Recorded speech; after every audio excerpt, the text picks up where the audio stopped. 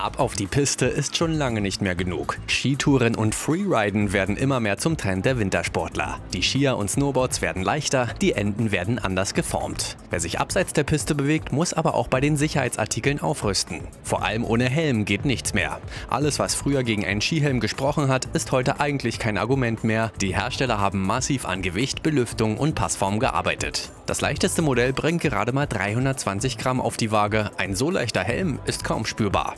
Auf der ISPO in München können sich Wintersportler über die neuesten Produkte im Bereich der Sicherheit informieren, aber auch über die neuesten Trends der Winter- und Skimode. Mit Wollmützen mit integrierten Kopfhörern macht Musik hören jetzt auch im Winter mehr Spaß. Egal ob auf der Piste oder im Alltag, die selbstgestrickten Mützen sind stylisch und praktisch, sorgen immer für einen guten Sound.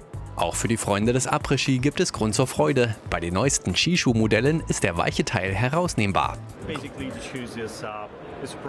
Grundlegend ist es ein normaler Skischuh. Das Besondere ist das herausnehmbare Innenteil. Du kannst mit dem Teil gehen, fahren oder einfach nach dem Skifahren feiern.